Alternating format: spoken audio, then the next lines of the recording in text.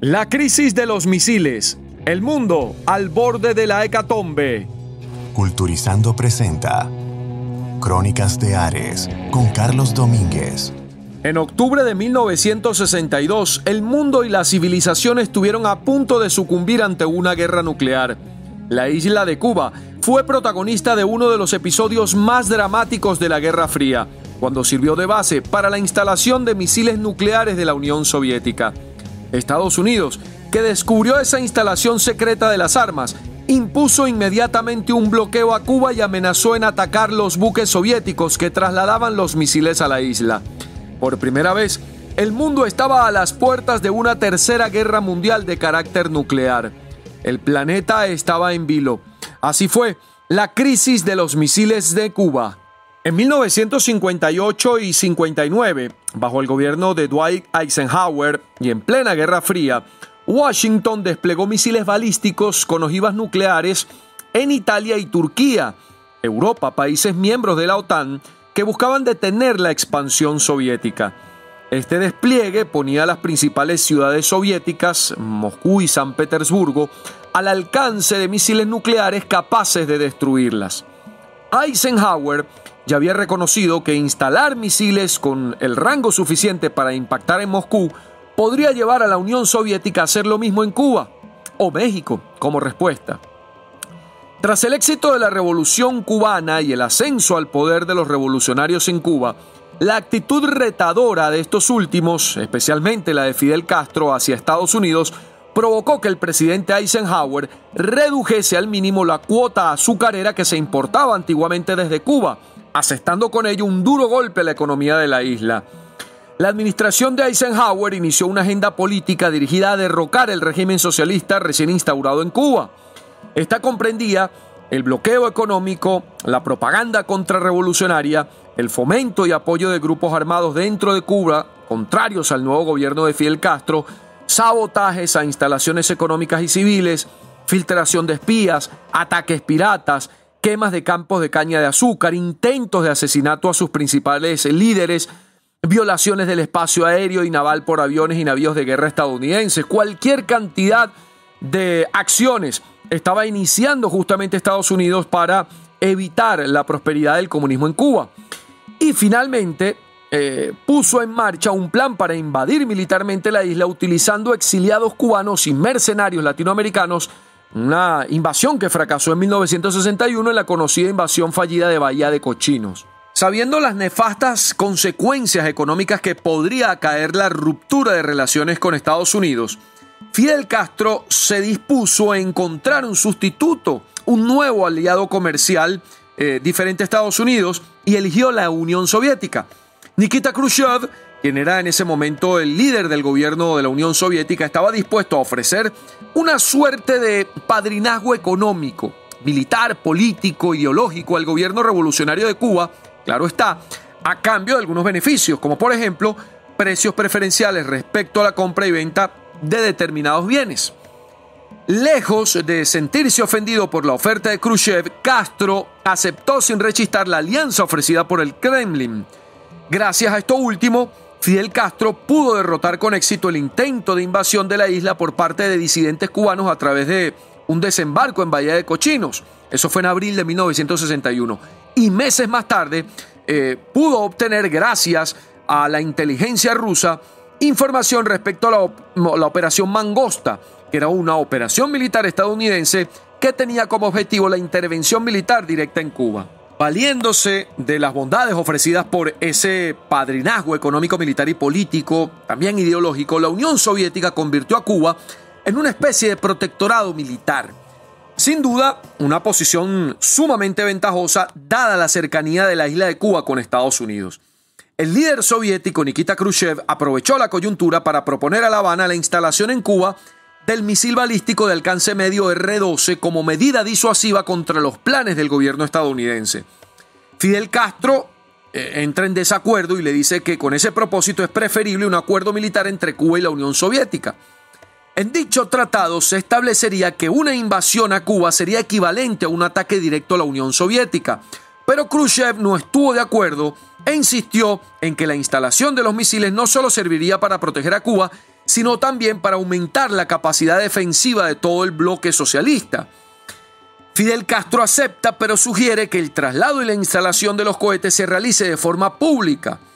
Sin embargo, los soviéticos se negaron a hacerlo antes de que los cohetes quedaran eh, totalmente operativos.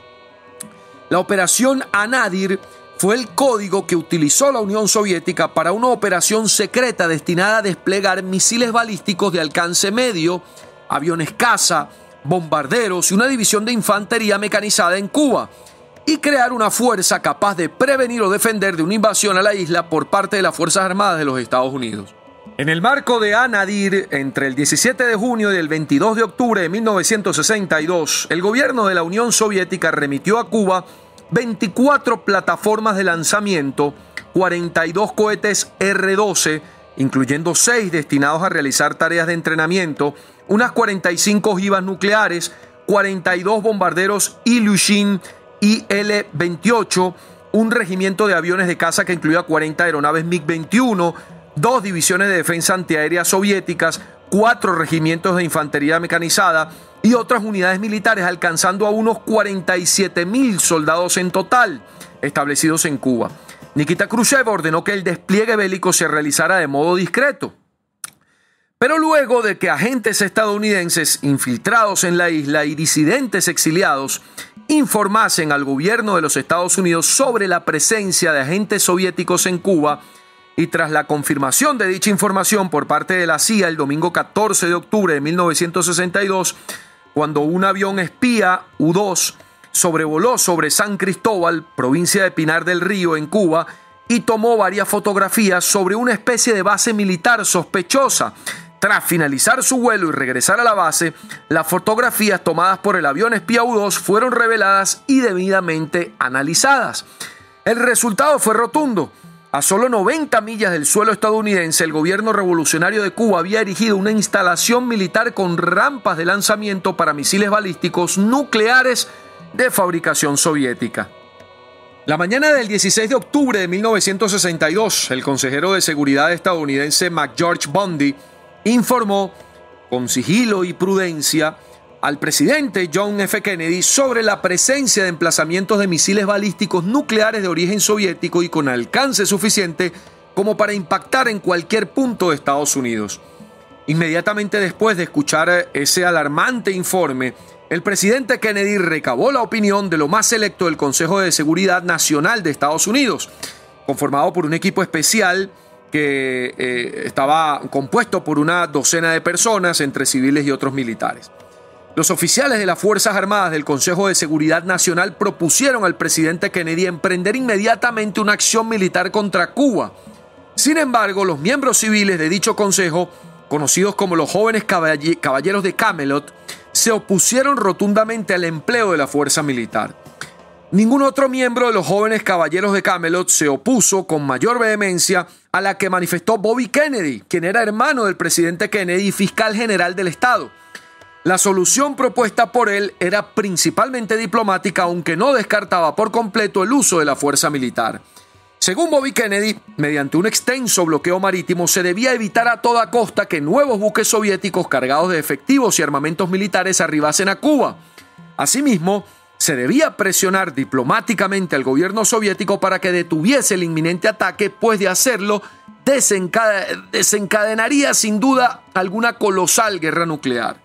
Con cada día que pasaba, la tensión aumentaba cada vez más en la alta esfera política del gobierno estadounidense y con ello la posibilidad de que esa información que hasta el momento no era conocida por la opinión pública sobre la crisis de los misiles de Cuba se pudiera filtrar a los medios de comunicación.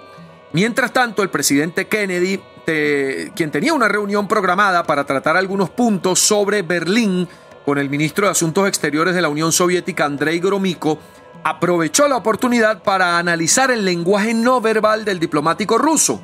Sin embargo, este mantuvo una postura serena y prudente durante toda la entrevista.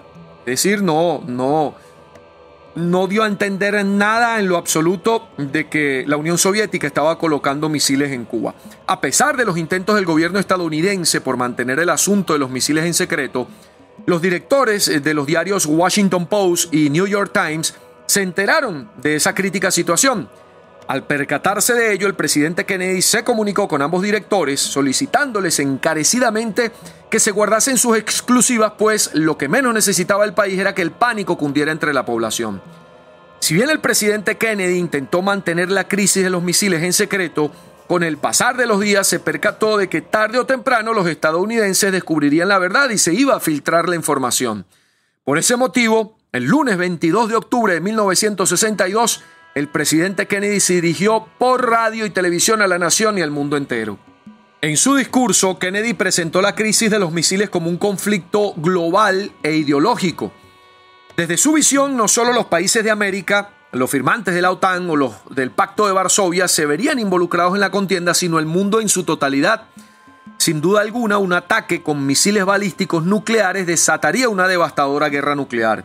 Asimismo, eh, Kennedy advirtió que toda agresión de la Unión Soviética hacia cualquier país del hemisferio occidental sería considerada una declaración de guerra a los Estados Unidos, pues no solo su país se encontraba dentro del radio de acción de los misiles soviéticos, sino también gran parte de los países latinoamericanos.